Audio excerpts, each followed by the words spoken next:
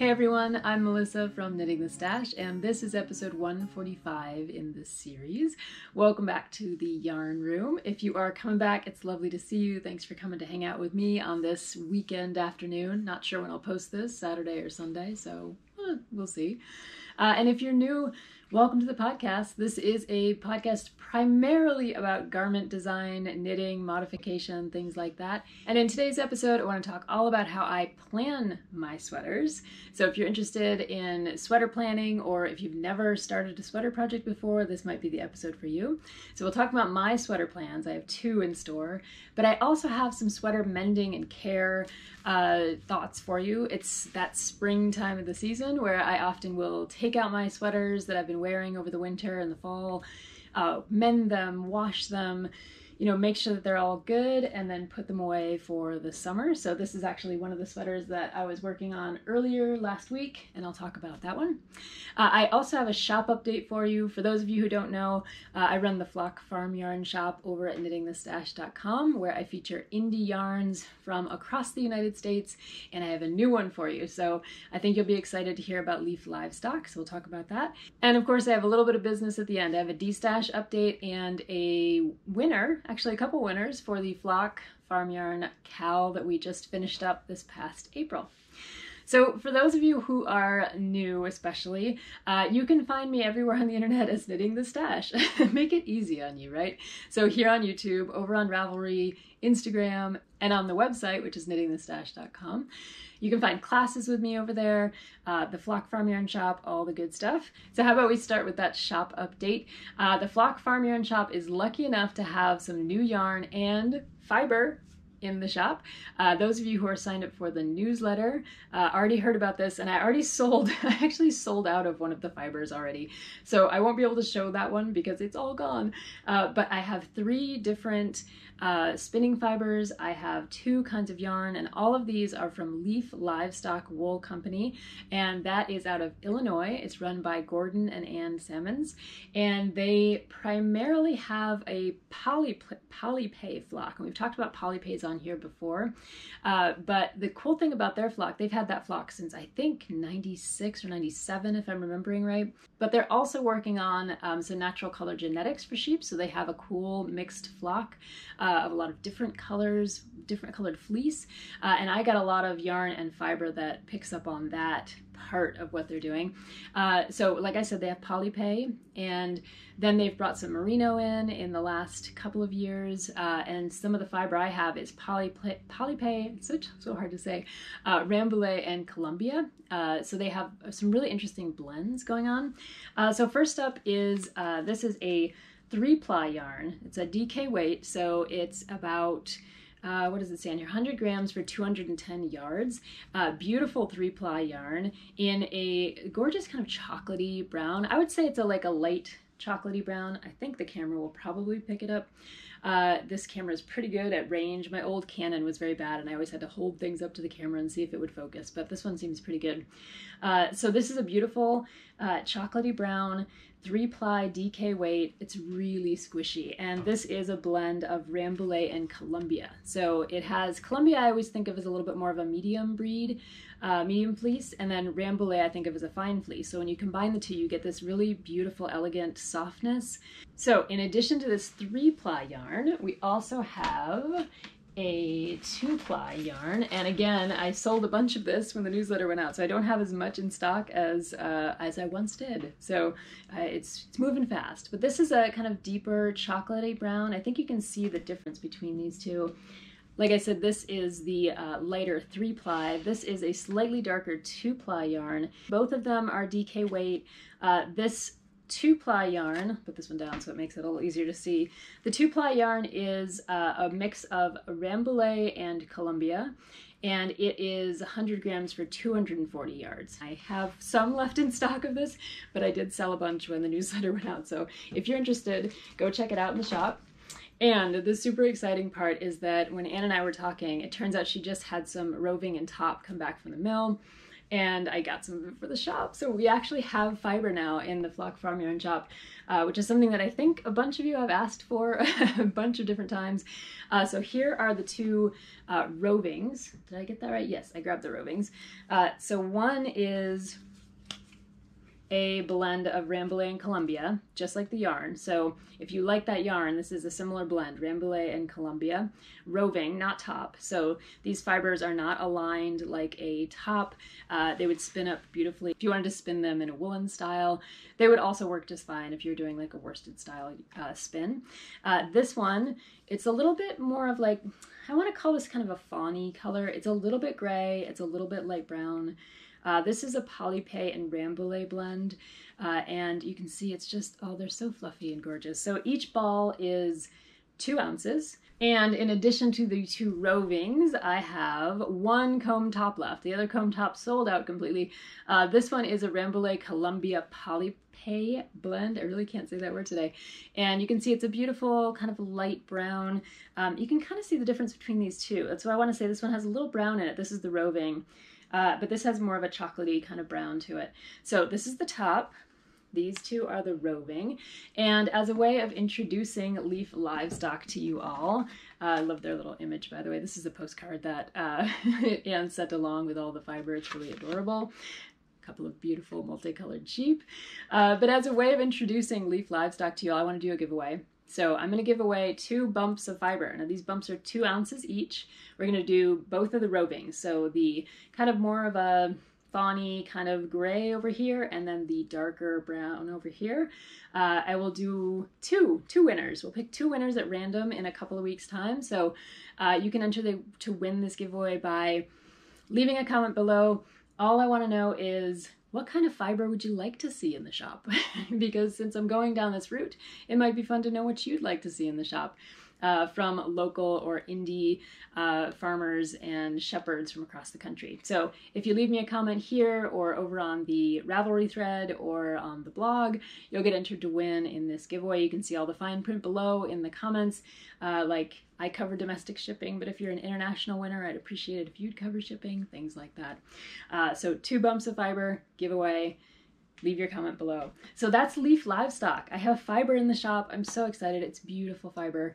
Uh, the yarn is absolutely gorgeous. So I hope you'll all go over and support Leaf Livestock in the shop and check out their website. I will link to it below in the comments so you can check out Anne and Gordon's work with their polyplay, polypay flock and the work they're doing on natural colored sheep genetics, which is really fascinating. Uh, I'm trying, Anne and I are trying to coordinate our schedules so that we could do a Zoom interview and you can hear even more about Leaf Livestock livestock. So look for that in May. I think we're going to be able to coordinate. This week I know is Maryland Sheep and Wool, and I know Anne always has different projects going on, and so do I. It's the end of the semester, grading and finishing and everything.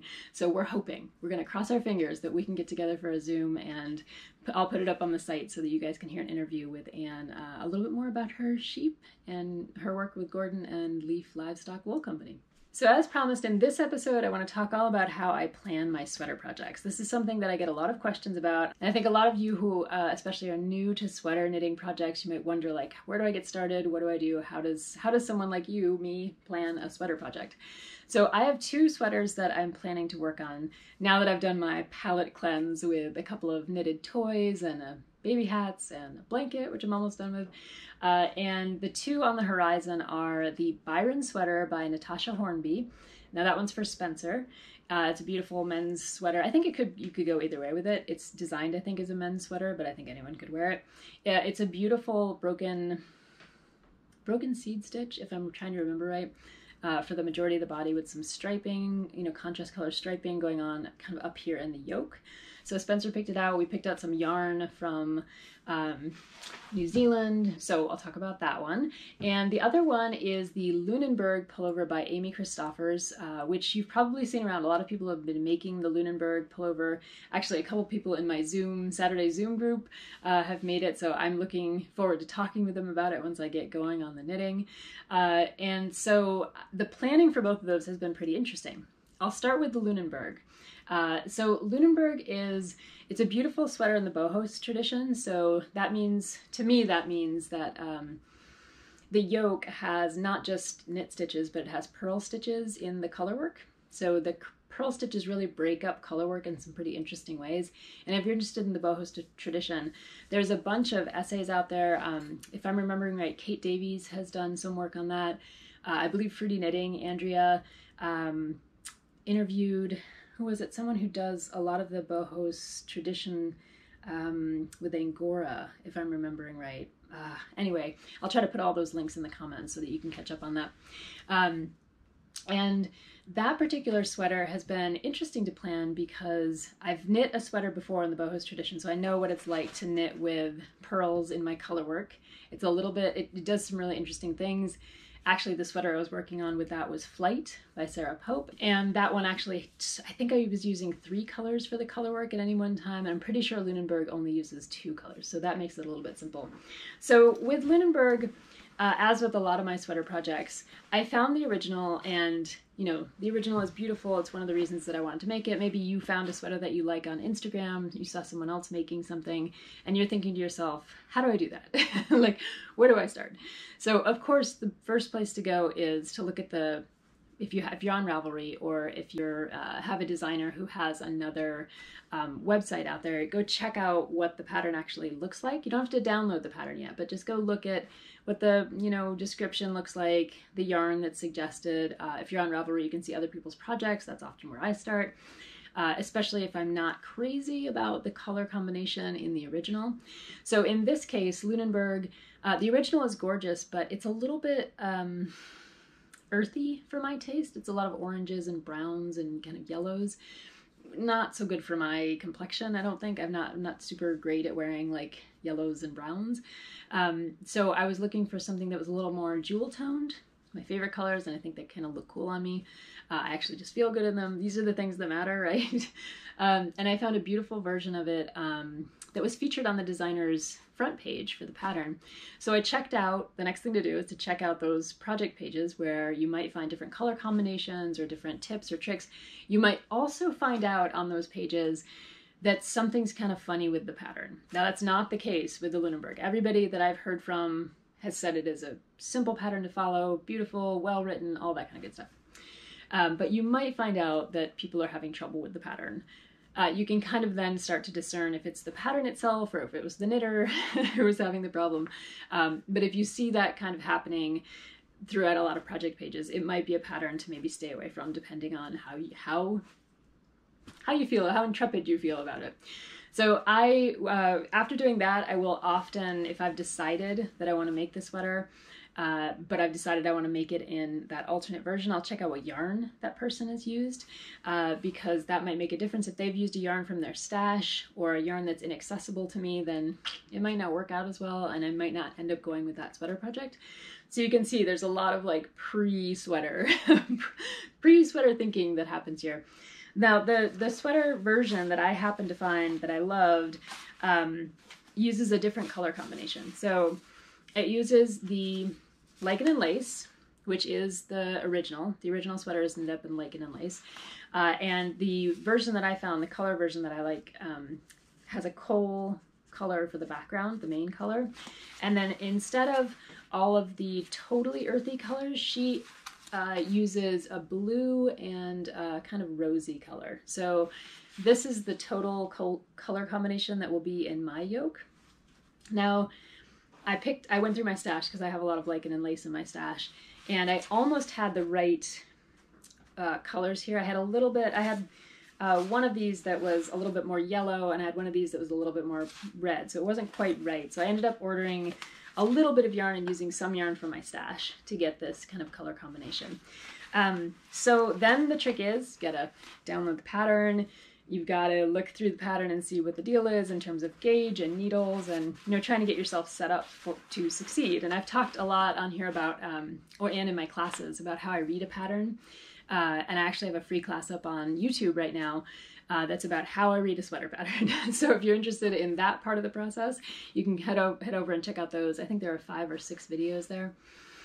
Now, once I've read the pattern and gotten everything set up, I'm looking at the gauge right? I'm thinking to myself, do I need to knit a gauge swatch? Luckily for me, I've knit a couple different sweaters in lichen and lace, and so I know my gauge. I knit one sweater that turned out just slightly too big. It was an Isabell Kraemer pattern, and her patterns usually fit me really well. So I was kind of surprised. I just misjudged my gauge a little bit.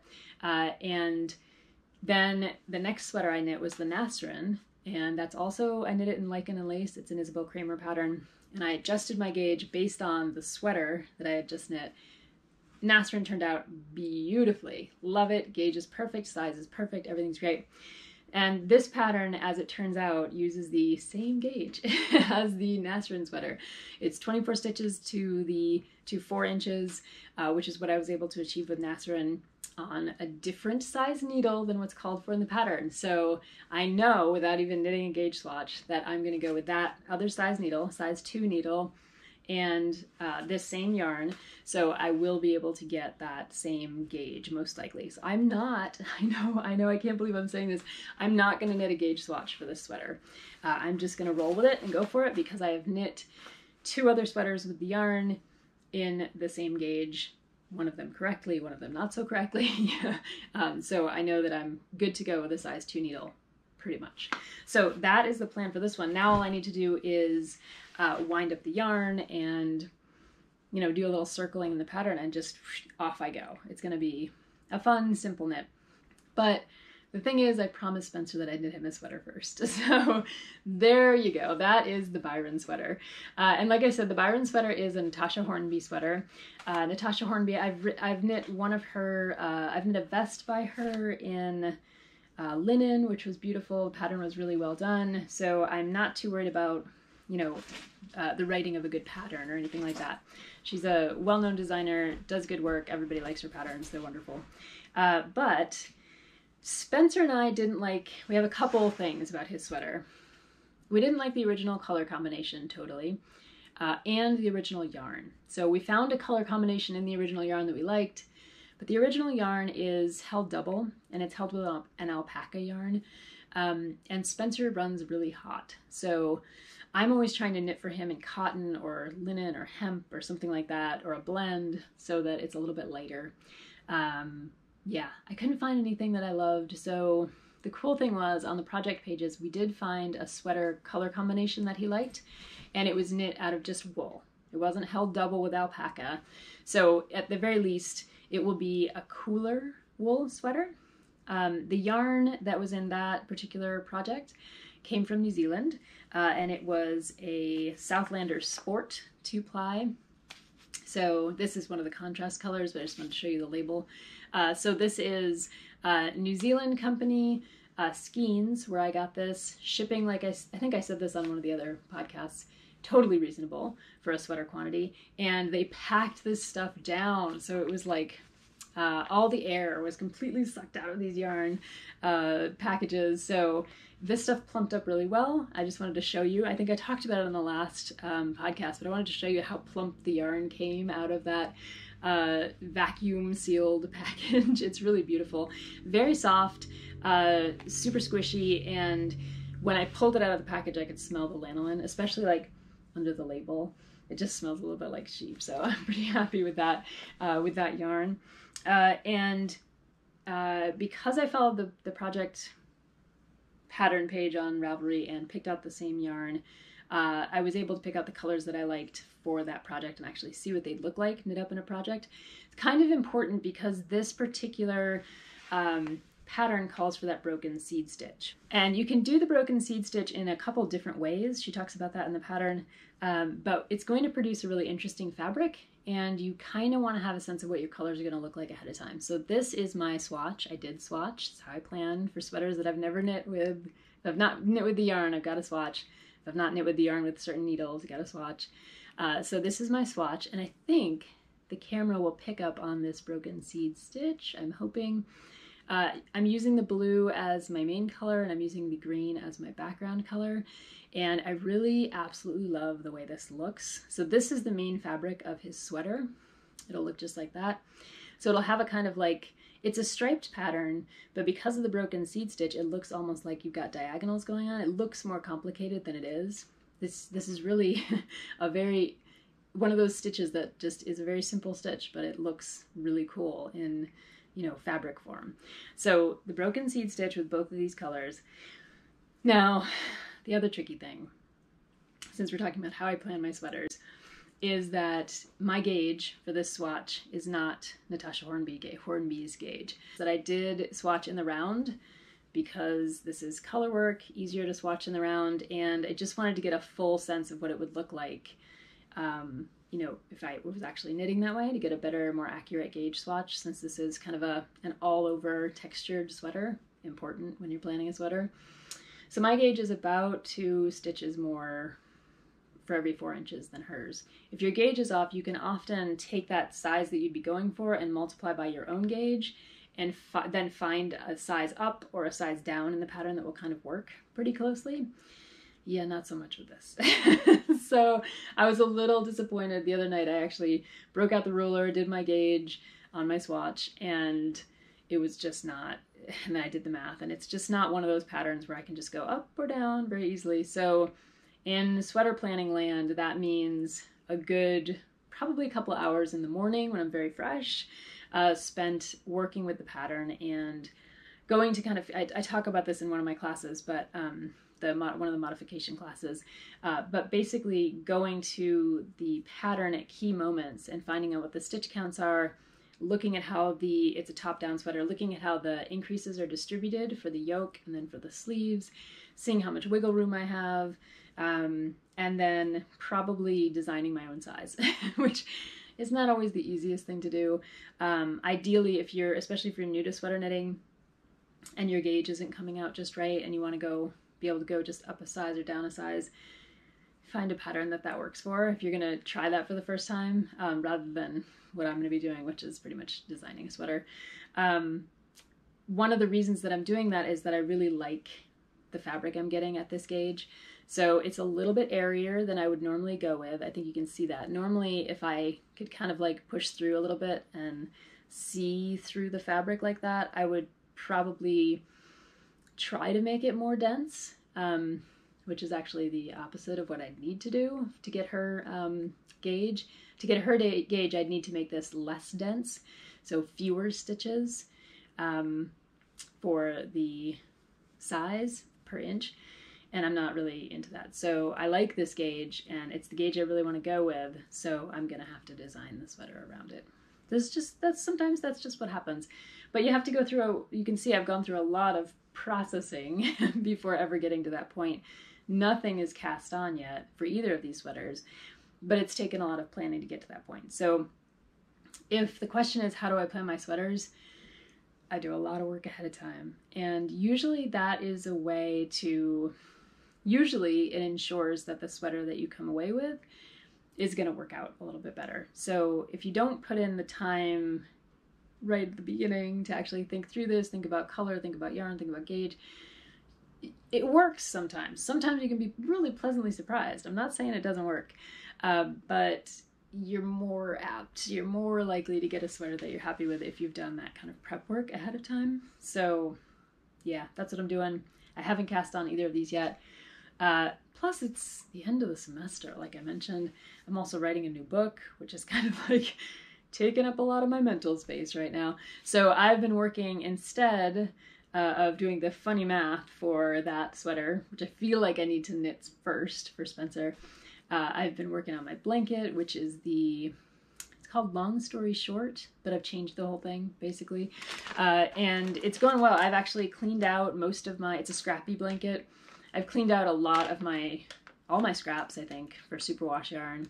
I've actually opened whole skeins of superwash yarn at this point, uh, and now I'm starting to cannibalize other things. So I had, uh, some of you may remember that I was working on a version of the North Easterly blanket, Northwesterly, uh, one or the other, um, which are these strips. They're beautiful. They're beautiful strips. It was, it was an interesting project. I just didn't feel like knitting strips and working on the bias. It just it wasn't working for me. Um, so I have a couple of these strips left, and I'm kind of thinking I'm going to cannibalize them for the scrappy blanket. Though maybe I'll just you know it's kind of one of those things where it's already knit, it's knit fabric, it's pretty. It could be kind of scarfy. I don't know. You could you could use it for something.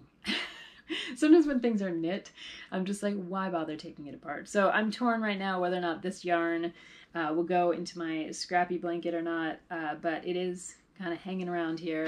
And the scrappy blanket is so close to being done. I think I am maybe about 230 rows from being finished because right now the blanket is decreasing on each side at each row, so it's getting smaller and smaller and going to that last corner. So that'll be done soon, I hope. Yeah. Anyway, it's gotten me through a lot of Zoom meetings in the last couple of weeks. So that's how I plan my sweaters, and that's why sometimes it takes a long time to get to a point of actually having a sweater on the needles and why I'm working on my blanket.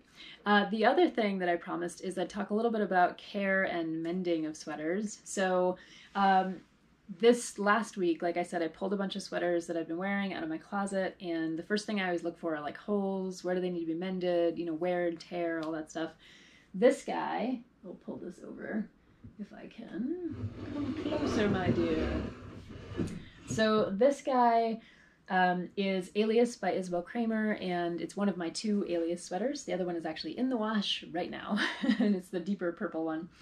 Uh, and these sweaters, I think because I went with long, longish sleeves, they kind of hang down over my wrists a little bit. Whenever I'm working at the computer, they always catch. And that wear and tear eventually um, pokes holes in my the bottoms of my cuffs here. So one of the things I have to do, I think it's every year, every couple years, is mend the cuffs on these these sweaters. So this year, I think I only needed to mend one um, extensively and the other just in a minor way. Yeah, that's what happened. So I have some footage. I took some footage of uh, the mending process. And with this particular sweater, what you'll see is uh, that sometimes when I mend sweaters, I take them down to, you know, you kind of identify where the problem is. Maybe you pull the yarn all the way back, the pattern all the way back to a place where there's some stability with the yarn, and then you actually re-knit. And, and that's what happens with this particular cuff. Um, these are knit top down. So I had a uh, kind of like, it was all worn out here at the top and, or at the very bottom.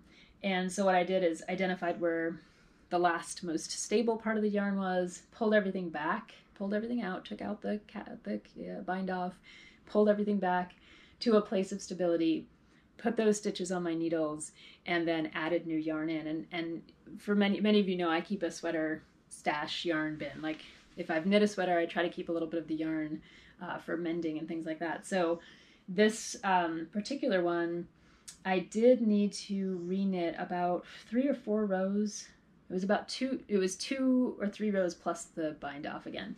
And you can barely see it. I'm not sure if the camera will pick it up, but I think you'll be able to see it in the other video. The yarn here that's been added for the mending is a slightly different color. It's the same yarn, uh, but it's a slightly different color because, you know, when you wear a sweater, it fades a little bit in the sunshine or just in the wear and tear when you've washed it, all that kind of stuff. So these men's will look a little bit more pink, kind of like bright fleshy color uh, until they kind of wear into the sweater like the rest of the sweater. This sweater, as some of you may recall, I keep saying that a lot on this particular episode, but as some of you may recall, the dogs got a hold of this sweater a long time ago when they were puppies and ripped the button band in a couple different places, actually crunched a couple of the buttons.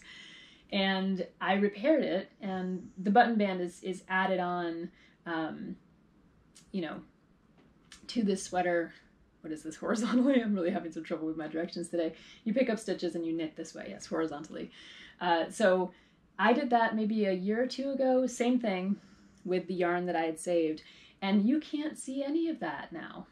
The color is all exactly the same. I had to change the buttons because the buttons got crunched, you know. Um, but the color of this particular button band has just mellowed, just like everything else.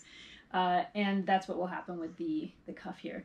Now the other kind of mending that I will sometimes do if I don't really feel like pulling everything back and, you know, messing with it and making sure I'm in stitch, you know, in the right pattern and all that kind of stuff, because you can see that this sleeve does have a little faux cable running down it.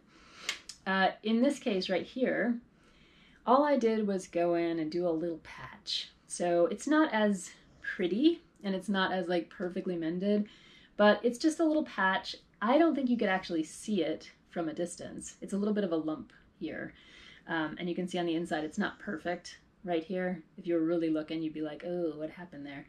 Um, but the thing is, it was a very, very tiny worn spot and these sleeves, these sleeve cuffs always wear out. So I just assume it's gonna wear out again next year. And when it really wears out, then I'll pull it back, just like I did with this one, and actually do, you know, re-knit the sleeve down. For now, just doing a little mend right here. As long as it's pretty clean on the front, you know, no matter what you have to do on the back, no one's gonna really notice it. So, so that mending happened. I also had a sweater with a hole in the armpit. Ugh, I know, holes in the armpits, awful, awful things. I found that I had actually dropped a stitch. I'd been wearing the sweater for a long time and it was 100% wool, so that stitch just sat there. just, but there was a hole. Uh, so all I had to do was identify the little stitch and grab it, and then on the inside, it turns out that I already had a little piece of yarn there that I hadn't woven in an end. Who, like, what was I thinking? Uh, so I just used that to do the mend. Uh, I kind of like worked the yarn tail over to the point where there was a little hole in the loose stitch, got it all bound up together, and it's not absolutely perfect, of course, because it's a mend as opposed to a knit. So that's just a quick peek into how I mend and repair my sweaters. I do it at the end of every winter season. Make sure that you get your sweaters out, mend them, wash them before you put them away because it turns out moths, they like the wool, sure, but what they're really attracted to is like any food or like oils or like skin cells, things like that. So it's good to wash your woolens, put them away so that they're all ready for you in the next season. So that's all I have for today, except for a little bit of business. Uh, just a quick update that my destash page over on knittingthestash.com is still being updated. I am still destashing things, all lovely, wonderful yarn. Um, I just am not using it, so it needs to go to a good home. So if you go to the main page and hover over more on the top bar, you'll see destash pop up, and that's where I keep my destash listings. Uh, and then the other thing is our Flock Farm Yarn KAL has ended. Now this was uh, for anyone who wanted to knit a garment out of a flock farm yarn. And it was amazing to see so many of you um, put together sweaters. I was just really, really happy. A lot of you did them with Shorn 4, uh, which was just really exciting to see. So thank you so much for participating in the KAL. The grand prize winner is Mary. Uh, she put together a vest out of Shorn 4, and then there were a couple of other yarn prize winners, and that was Rose and uh, Megan. So you've all been notified. Uh, send me your info, either your email addresses or your mailing addresses, and I will get those prizes in the mail to you. Thanks so much to everyone who participated in the cow. Uh, and with that, I think I'm gonna go relax for once in a weekend because we're not planting trees or raspberries or anything else. Uh, though I will say we got all 400 trees in the ground and all 20 raspberries planted and I will give you a little footage of that here at the end. Uh, I hope you have something fun in store for yourself this weekend and otherwise I will see you in a couple weeks with the next podcast. Take care everybody. Bye-bye.